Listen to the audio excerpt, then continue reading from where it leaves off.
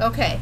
When I went to get this machine, because I saw it uh, actually in fine dressmaking, uh, one of my students said, "Oh, a lady down the street wants to sell her featherweight sewing machine, and she has a featherweight table, which is a little card table. It has a slot in it, and this machine fits in it. So it's like 1950s, and this thing would fit flush, so that I have a big table where I can. Did you get put the- excited? Yeah, you. yeah, did I ever?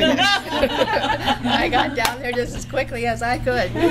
So uh, I thought, well, I don't need another sewing machine, but I sure need that card table because that was that's that's a very rare find. So if you ever see a card table and it's got a rectangular hole in it, buy it because I was just reading this morning that. Uh, Somebody picked one up for five hundred dollars, and she thought it was a bargain. So the lady said, Yeah, I really don't want to sew anymore, and you know, I haven't used the machine in a long time. It sat in the garage, and there was a flood in the garage, and the machine was in the case, mm-hmm. and so all the moisture sat there and rotted the bottom out of the case, and rotted the paint off the, the machine. So that's why it's missing paint right here. But otherwise, it's a fine little machine. So what'd you get it for? Uh, do I have to tell you? Well, isn't that a, like a lower quality and surprised for kind of a? I got the table and the machine for two hundred dollars. Oh. Wow. I know. It That's was a good bar- deal. It How was a very ago? good deal. Is it over the Last summer? summer, Oh, wow. fine dressmaking, uh, and it was right there in San Marcos. So We're all gonna be on the it's- hunt now. Yeah, there you go.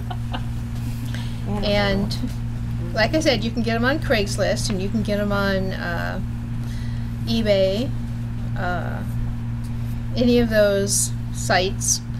You can go to the Featherweight Yahoo group, and the guy that writes it is in England, and he tells you how to service the machine, and he has a repair uh, booklet and everything, so you can rewire it, and you can take care of it. But they're kind of groupies, right? You guys are kind of getting that. Okay, so people are in love with these little machines and they think they're wonderful. So you saw how I got the fabric into the binder, and now let me grab the other binder.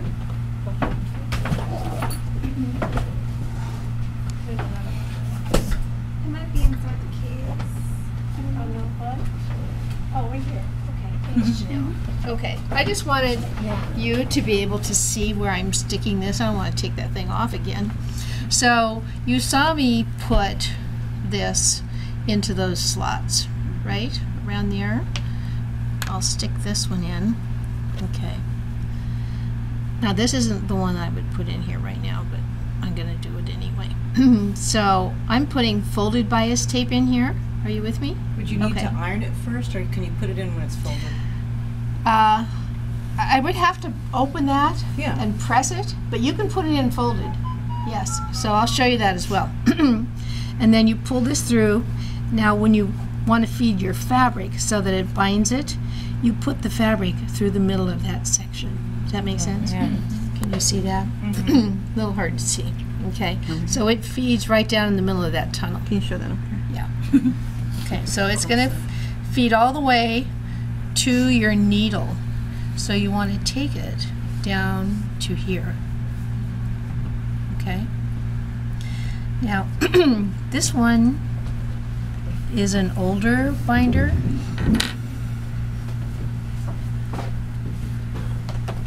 Uh, and you can adjust the binder too. So you can hmm. shift this binder. So I'm going to put the foot down and sew a little bit. I hope. But you need some fabric It's in there? probably this foot. Hmm. Uh, yeah, it has fabric. It, the No, the the- pink. The white fabric. the white? Oh, well, I'm going to get started first. Mm. Of course, I did this on my sewing machine at home, which is my other singer. So I'm just going to cut that top thread, get it out of the way.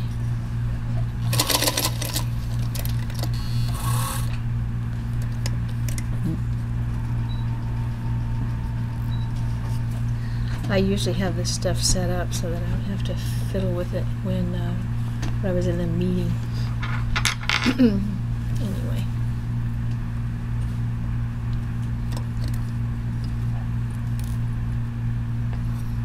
put this in and see if it'll show feed. Maybe it will.